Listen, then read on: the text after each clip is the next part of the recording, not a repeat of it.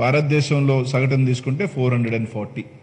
అంటే అత్యధికమైన టెస్టులు చేస్తున్న రాష్ట్రం ఏదైతే ఉంది అంటే ఆంధ్ర రాష్ట్రం. ఈరోజు అన్ని రకాల చర్యలు మన రాష్ట్ర ముఖ్యమంత్రి గారు తీసుకుంటూ ఈరోజు మనం పాజిటివ్ కేసెస్ చూసుకున్నా కూడా ఎనభై వేల టెస్టులు చేస్తే మనకి పన్నెండు వందల యాభై తొమ్మిది రికార్డ్ అయినాయి ఈ రోజుటికి. పర్సంటేజ్ బేసిస్ తీసుకుంటే యావరేజ్న one point five percentage average countries average తీసుకుంటే four point five percent highest తీసుకుంటే Madhya Pradesh eight point five percent ఆ లెక్కన తీసుకున్నా కూడా భారతదేశంలో అతి తక్కువ పాజిటివ్ కేసెస్ నమోదవుతుంది యావరేజ్న వన్ పాయింట్ ఫైవ్ పర్సెంట్ మన రాష్ట్రమే. ఈవెన్ డెత్ రేషియో తీసుకున్నా కూడా countries average three point four ఉంటే మన రాష్ట్రం average two point eight percent discharge తీసుకుంటే twenty percent discharge rate percentage ఈ రాష్ట్రంలో ఉంది. ఆ విధంగా ఈ రాష్ట్రం ముఖ్యమంత్రి గారు కరోనా వచ్చినప్పుడు దగ్గర నుంచి కూడా రాష్ట్ర ప్రజల్ని భయంలోకి తీసుకువెళ్ళకుండా పానిక్ సిచ్యువేషన్లోకి తీసుకువెళ్ళకుండా అధికార యంత్రాంగం దగ్గర నుంచి పోలీస్ దగ్గర నుంచి వాలంటీర్స్ దగ్గర నుంచి శానిటరీ కానీ పోలీస్ కానీ రెవెన్యూ కానీ డాక్టర్స్ కానీ ట్వంటీ ఫోర్ ఇంటూ సెవెన్ పనిచేస్తూ ప్రతి ఒక్కరూ కష్టపడుతూ ఎక్కడికి ఎక్కడికి క్వారంటైన్లో పెట్టడం దగ్గర నుంచి కరోనా పేషెంట్స్ని ట్రీట్ చేసి డిశ్చార్జ్ చేసే దగ్గర కాక జాగ్రత్తలు తీసుకుంటుంటే చౌకబారు విమర్శలు నీచ రాజకీయాలు చేసే పార్టీ తెలుగుదేశం పార్టీ. ఈరోజు ఒకటే చెప్తా ఉన్నాం. గతంలో ఒక వైరాలజీ ల్యాబ్ ఉంటే కోవిడ్ వచ్చిన తర్వాత ఈ రాష్ట్రంలో తొమ్మిది ల్యాబ్స్ పెట్టడం జరిగింది. ప్రతి జిల్లాకు సంబంధించి కోవిడ్ హాస్పిటల్స్గా ఒక పెద్ద ఒక జనరల్ హాస్పిటల్ని హాస్పిటల్ చేయటం జరిగింది. దాదాపు పన్నెండు వందల డాక్టర్స్ని రిక్రూట్ చేయడం జరిగింది ప్రభుత్వం. అన్ని రకాల చర్యలు తీసుకుంటుంటే వీళ్ళకి మాత్రం కనిపించవు. ఇక మాట్లాడతాడు నేను చంద్రబాబు నాయుడు ఈరోజు ఒక లేఖ రాయటం చూశాను నేను. కనీసం ఈ రాష్ట్రంలో ఇంత జా- ఇంత జరుగుతుంటే ఈ రాష్ట్రంలో కూడా లేకుండా పక్క రాష్ట్రంలో నక్కి ఉన్న ఆయన. దౌర్భాగ్యం ఈ రాష్ట్రానికి ఇట్లాంటి ప్రతిపక్ష నాయకుడు ఉండటం. అక్కడి నుంచి ఇక్కడ కొంతమంది మినిమం కామన్ సెన్స్ లేని మనుషుల చేత మాట్లాడిస్తుంటాడు. ఆయన ఒక లేఖ రాస్తాడు. ఏమని లేఖ రాస్తాడు? గవర్నర్ బంగ్లాకి తాకింది రాష్ట్రానికి అప్రతిష్ట అంట. మొదటి నుంచి ఒకటి చెప్తా ఉన్నాం. కరోనా అనేది రాజుకి రాదు పేదవాడికి వస్తుంది బలవంతుడికి రాదు కామన్ మ్యాన్కి వస్తుంది అనేది ఏం లేదు. ఎవరికైనా రావచ్చు. బ్రిటిష్ రాజ కుటుంబంలో ప్రిన్స్ చార్ల్స్కి వచ్చింది అంటున్నారు. British prime minister Boris Johnson గారికి వచ్చింది. ఇలా ఎంతో మందికి కూడా వచ్చింది. ఎందుకంటే తెలుసో తెలియకుండా ఎవరో ద్వారా వాళ్ళ ఇంట్లో పనిచేసే వాళ్ళు ఒక చిన్న అజాగ్రత్త వల్ల రావచ్చు. దానికే జాగ్రత్త తీసుకోమని పదే పదే అందరూ చెప్తా ఉన్నారు. ఒక ఎంపీ కుటుంబంలో వచ్చిందని చెప్పి అవహేళనగా మాట్లాడాడు. చంద్రబాబు నాయుడు గారు కానీ వాళ్ళ ఎవరైతే కామన్ సెన్స్ లేని వాళ్ళు. ఆ కుటుంబంలో నలుగురు డాక్టర్స్ ఉన్నారు.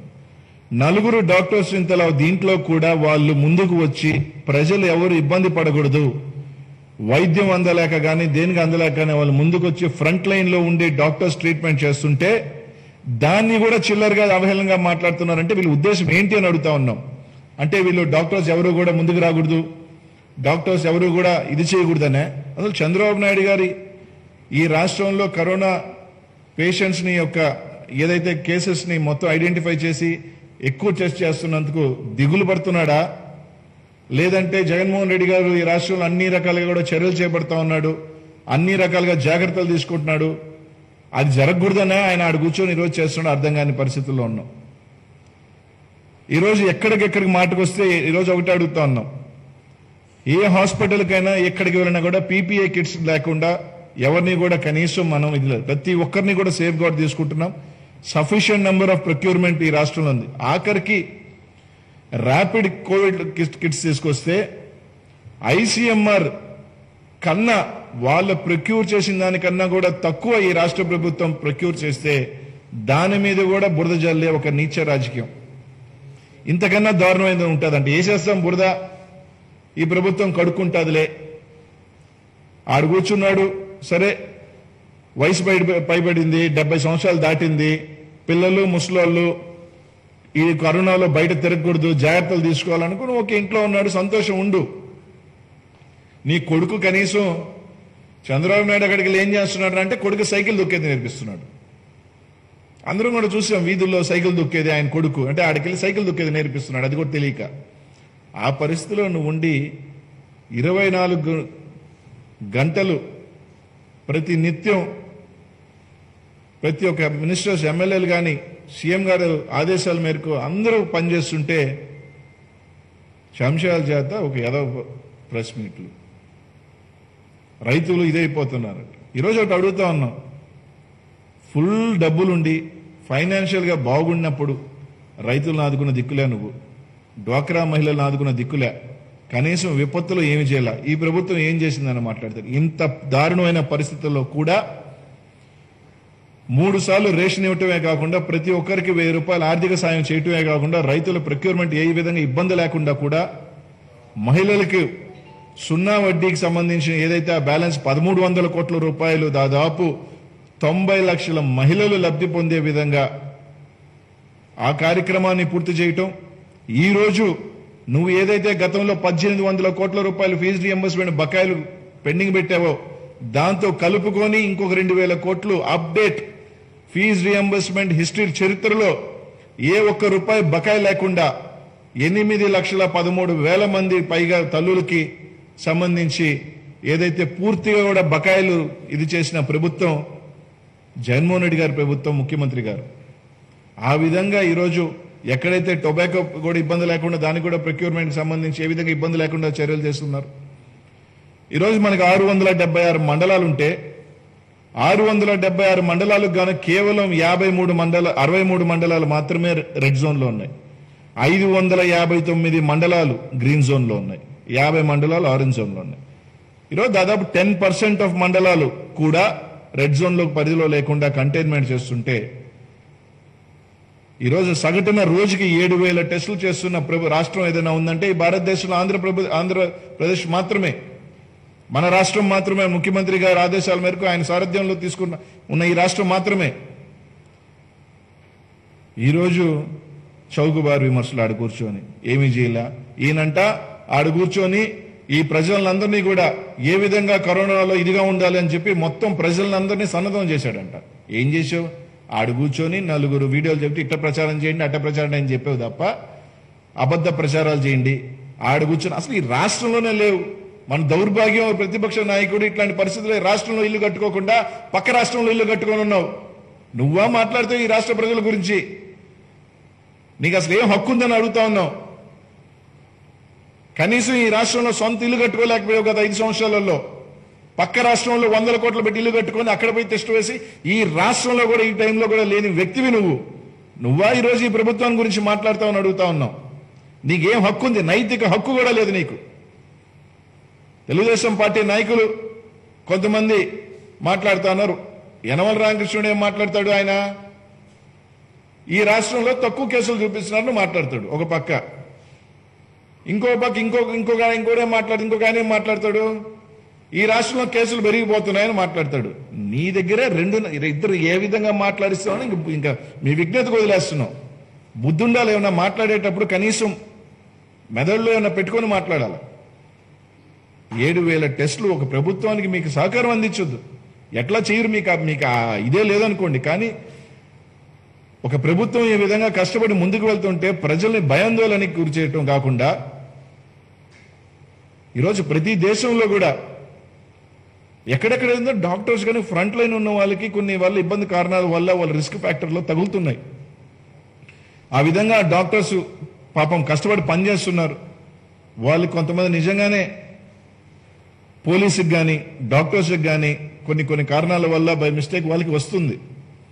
అంత చేత్రాన ఆంధ్ర రాష్ట్రం ఒకటే వల్లే వస్తుంది. ఇక్కడ ఒకటే డాక్టర్లు. అందరు ప్రపంచం అంతా ఎంతో మంది డాక్టర్స్. ఫర్ ఎగ్జాంపుల్ చెన్నైలో మన one of famous neurologist Simon గారు ట్రీట్ చేస్తే చనిపోయారు. అన్ని దగ్గరలో కూడా చాలా దగ్గరలో జరిగినాయి. ఈ ఒక్క రాష్ట్రంలోనే ఇదైనట్టు ఒక బురద జల్లే ప్రయత్నం. మంచి చేయొద్దు మాకు. కనీసం ఇట్లాంటి పరిస్థితుల్లో జనాలకి ధైర్యాన్ని భరోసా అనియాల్సింది పోయి ఆ ధైర్యాన్ని నింపకుండా భరోసాన్ని నింపకుండా ఒక భయాన్ని నింపొద్దు మాత్రం దయచేసి చేయొద్దని చెప్పి చంద్రబాబు నాయుడు గారికి తెలియజేస్తా ఉన్నాం. వాళ్ళ ప్రభుత్వం వాళ్ళ ప్రతిపక్ష నాయకులు పార్టీ నాయకులకు చెప్తా ఉన్నాం. చేతగాక మీరు ఏమీ చేసింది లేక ఐదు సంవత్సరాలు విపత్తులు వచ్చినప్పుడు డప్పు కొట్టుకోవటం మీడియాలు పెట్టుకోవటం ఇది తప్ప ముప్పై ఐదు మందిని పుష్కరాల్లో చంపి ఇట్లాంటి మీడియా జిమ్మికలు తప్ప మీరు ఏది చేసింది లేదు. ఈ రాష్ట్రం కరోనా మీద ఏ రాష్ట్రం చేయని చర్యలన్నీ కూడా తీసుకుంటుంది. అన్ని రకాలుగా క్వారంటైన్లో సదుపాయాలు కానీ ఫుడ్ దగ్గర నుంచి కూడా ముఖ్యమంత్రి గారు ప్రతిదీ కూడా చూస్తూ వాళ్ళని జాగ్రత్తలు తీసుకుంటూ ఎక్కడికెక్కడికి రివ్యూలు చేసుకుంటూ ప్రతి ఒక్క మంత్రుల దగ్గర నుంచి శాసనసభ్యుల అందరూ కష్టపడి ఈరోజు ఒకటి అడుగుతా ఉన్నాం ఎంతమంది మీ నాయకులు ఒక పది శాతం మంది అయినా వచ్చి బయటకు వచ్చి సాయం చేశారని అడుగుతా ఉన్నాం. కనీసం ఆకలితో ఉన్నవాడికి ఎవడైనా ఒకచ్చి ఒక తెలుగుదేశం పార్టీ నాయకులు బయటకు వచ్చారా? లే. ఏదో ఇరవై ఐదు రోజుల తర్వాత పన్నెండు గంటలు ఒక యదవ దీక్ష. తినింది అరక్క. ఇంట్లో కూర్చొని తిని తిని తిని తిని తిని బాగా తిని ఉంటారు అది అరక్క పన్నెండు గంటలు ఒక దీక్ష పెట్టారు. దీక్ష పెట్టి అది మా మీద బురద జల్లటం. మానుకోమని చెప్పి తెలియజేస్తాను చంద్రబాబు నాయుడు గారికి. ఈరోజు ఈ భారతదేశంలో ఏదిగా తీసుకున్నా కూడా టెస్టింగ్ రేషియోలో తీసుకున్నా డెత్ రేషియోలో తీసుకున్నా పాజిటివ్ పర్సంటేజ్ రేషియోలో తీసుకున్నా ఈ రాష్ట్రం అన్ని రకాలుగా కూడా అన్ని రాష్ట్రాల కన్నా కూడా మెరుగ్గా ముందుకు వెళ్తా ఉంది. ఇంకా ల్యాబ్స్ పెంచుతా ఉన్నాం. టెస్టులు కూడా ఇంకా కూడా పెరుగుతాయి. అన్ని రకాలుగా కూడా ముఖ్యమంత్రి గారు ప్రతి ఒక్కటి కూడా పర్యవేక్షణలో అన్ని రకాలుగా కూడా చర్యలు తీసుకుంటా ఉన్నాం. ఎక్కడికి ఎక్కడికి కూడా పోలీస్ యంత్రాంగం కూడా ప్రతిదీ కూడా మానిటర్ చేసుకుంటూ పర్సెంటేజ్ ఆఫ్ డిశ్చార్జెస్ కూడా తీసుకుంటే ట్వంటీ పర్సెంట్ ఉంది. అన్ని రకాలుగా కూడా మన ముఖ్యమంత్రి గారు తీసుకుంటా అని చెప్పి తెలియజేసుకుంటూ ప్రతిపక్ష నాయకుడు అని కూడా చెప్పేదానికి అర్హ అర్హత లేని చంద్రబాబు నాయుడు గారికి తెలియజేస్తున్నాం. ఈ రాష్ట్రంలో లేకుండా పక్క రాష్ట్రంలో ఉన్న నీకు అసలు ఏ నైతిక హక్కు లేదు ఈ రాష్ట్రం గురించి మాట్లాడే హక్కు ఎవరికి కూడా. ఓట్లు ఇక్కడే కావాలా? రాజకీయం ఇక్కడ చేయాలంటారు. కానీ ఎక్కడ దాముకున్నారు పక్క రాష్ట్రంలో దాముకున్న ప్రతి ఒక్క నాయకుడికి ఎవరైతే చెప్తున్నాం ఈ రాష్ట్రంలో ఉండాలనుకో ఉన్న ఏం ఇక్కడ లేరా? ఈడ ఇల్లు కట్టుకోలేరు మీరు. ఈ రాష్ట్రంలో ఇక్కడ మాత్రము రాజకీయం చేయాలనుకున్నారు ఇక్కడ పెత్తనం చేయాలనుకున్నారు ఇక్కడ ఓట్లు కావాలనుకున్న వాళ్ళు మాత్రం ఇక్కడ ఇల్లు కట్టుకునే ఇది లేదు. మీకు ఐదు సంవత్సరాల నుంచి ఇల్లు కట్టుకోలేరు మీరు. ఇక్కడ ఉండరు మీరు. పక్క రాష్ట్రంలో ఉంటారు పక్క రాష్ట్రం నుంచి మాత్రం ఇక్కడ కామెంట్స్ విసురుతారా? సిగ్గుండాలి ఇట్లాంటి నాయకులు అందరికీ అని చెప్పి తెలియజేస్తా ఏం చేశాడు?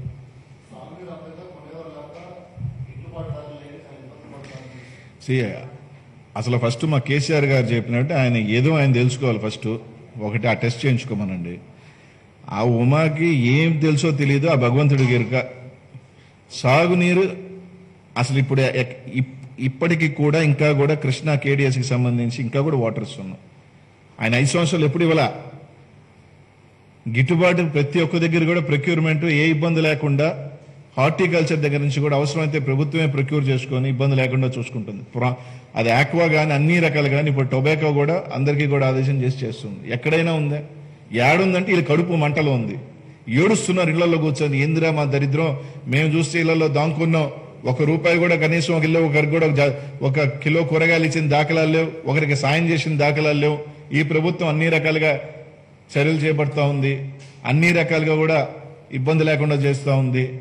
అతను ఏం మాట్లాడతాడో అతనికి తెలియదు. అతనుకున్న జ- అతని వల్ల ఒకటే. ఒక గొంతేసుకొని వాగేయటం. అయిపోయింది కదా నా పని పోయి ఇంట్లో పోయి పడుకోవటం. ఆ నాలుగు మీడియా ఛానల్ ఉన్నాయి కాబట్టి ఆయన రాసిన రాసుకోవటం. ఆ? అది తప్ప ఇంకేముంది? ఆ కేసీఆర్ చేసి చెప్పినట్టు ఆయన ఫస్ట్ ఆయన తెలుసుకోమని ఒకటి.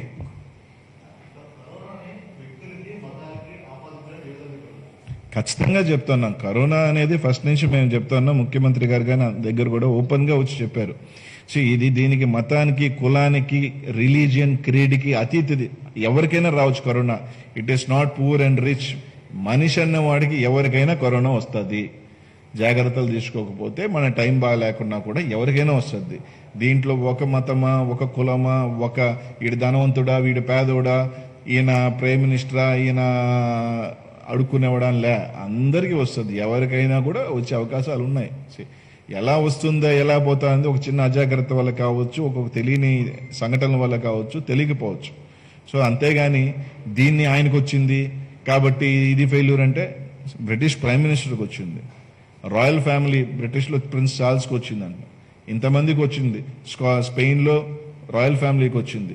కెనడియన్ ప్రైమ్ మినిస్టర్ వైఫ్కి వచ్చింది. చాలా హెల్త్ మినిస్టర్స్కి వచ్చినాయి. చాలా కంట్రీస్లో హెల్త్ మినిస్టర్స్కి పెద్ద పెద్ద మినిస్టర్స్కి వచ్చింది. పెద్ద పెద్ద హై ర్యాంక్ అఫీషియల్స్కి వచ్చింది. సో దీంట్లో వాళ్ళు ఫ్రంట్ లైన్లో పనిచేస్తున్నారు. పనిచేసినప్పుడు వాళ్ళు మేము రిస్క్లో ఉన్నాము అని తెలిసినా కూడా వాళ్ళు పనిచేస్తున్నందుకు అభినందించాలి. వాళ్ళని వెనక్కి లాగకూడదు. ఈరోజు డాక్టర్స్ ఉన్నారు పోలీసు ఉన్నారు. ఎన్ని వేల మంది ఎవరికి కరోనా ఉందా ఎక్కడ ఉందని తెలియకపోయినా కూడా రెడ్ జోన్లో సైతం తిరిగి తిరిగి చేస్తున్నారు. వాళ్ళని ఈరోజు చంద్రబాబు నాయుడు గారు నిన్న ఎంపీ వాళ్ళ ఫ్యామిలీలో నలుగురు డాక్టర్స్కి వచ్చింది. దే ఆర్ డాక్టర్స్ వాళ్ళు ఇంత దాంట్లో వాళ్ళు ఎన్ని వేల మందిని పోయి ట్రీట్ చేస్తుంటారు వాళ్ళ లైఫ్ని కరోనా మాకు రావచ్చు అనే భయం లేకుండా చేస్తే దాన్ని ఈరోజు అవహేళనగా మాట్లాడుతున్నారంటే వాళ్ళు ఎంత ఇంకా వాళ్ళ గురించి ఏం మాట్లాడాలా? ఫ్రంట్ లైన్లో ఒక doctors family yes maybe is an MP ప్రౌడ్గా చెప్తున్నా మా ఎంపీకి సంబంధించి కుటుంబంలో నలుగురు డాక్టర్స్ ముందుకు వెళ్ళి ట్రీట్మెంట్ చేసి ఎస్ వాళ్ళు పాజిటివ్ టెస్ట్ అయ్యొచ్చు కానీ వాళ్ళు ఎన్ని వేల మందిని ట్రీట్ చేశారు. ఏ ఒక ఫర్ ఎగ్జాంపుల్ మీరు చెప్పే విధంగా డాక్టర్స్ ఎవరు బయటకు రాకూడదంటే ఒక సడన్గా ఒక హార్ట్ పేషెంట్ వస్తాడు అంటే ట్రీట్మెంట్ చేయకూడదా? They have to go back ఇంకో వేరే జబ్బు వస్తుంది ఒక కుటుంబంలో ఏం ఎప్పుడు ఎవరో ఒక తెలుగుదేశం పార్టీ నాయకుడు ఇంట్లో ఒక ఒక సీరియస్ ఇష్యూ జరగద్ది రాకూడదు రావాలని ఎవరు కోరుకోం. అలా అని చెప్పి ఆ డాక్టర్ ముందుకు రాకూడదా? ఓ దేర్ లైఫ్ని రిస్క్ పెట్టి ఎవరికి ఏముందో తెలియదైనా కూడా ముందుకు వచ్చి చేస్తున్నప్పుడు సపోర్ట్ ఉండాల్సింది పోయి వాళ్ళని క్రిటిసై మంచి చెప్పకపోయినా పర్లా you don't applaud but don't criticise మీరు వాళ్ళని అప్రిషియేట్ చేయకపోయినా పర్వాలా? క్రిటిసైజ్ చేయదు ఇట్లాంటి వాళ్ళని డాక్టర్స్ కానీ పోలీస్ అఫీషియల్స్ కానీ పోలీస్ కానిస్టేబుల్స్ కానీ ఎవరైతే ముందుకు వచ్చి పనిచేస్తున్నారో వాళ్ళ మొరాల్ దెబ్బతినొద్దు ఈ టైంలో మొరాల్ దెబ్బతినిందంటే వాళ్ళు భయపడి ముందుకు రాలేదు అంటే that that is more bigger harm మంచి చేయకపోయినా పర్వాలేదు. దయచేసి ఆ పోలీసు ఆ డాక్టర్స్ ఆ రెవెన్యూ ఆఫీషియల్స్ ఆ వాలంటీర్స్ ఆ సెక్రటేరియట్ స్టాఫ్ ఎంఆర్ఓస్ వాళ్ళ మొరాల్ని మాత్రం దయచేసి మీ చౌకబార్ రాజకీయాలు మీరు చిల్లర రాజకీయాలు మీ చీప్ పాలిటిక్స్ వల్ల వాళ్ళ మొరాల్ దెబ్బతిన తీయొద్దని మాత్రం తెలియజేస్తుంది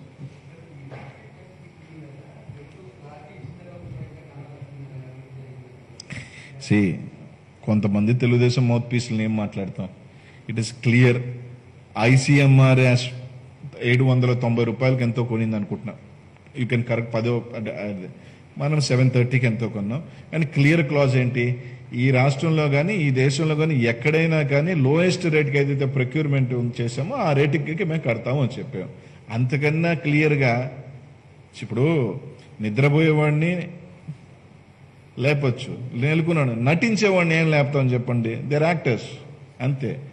Their mouthpieces of some parties దానికి మనం ఏం మాట్లాడతాం?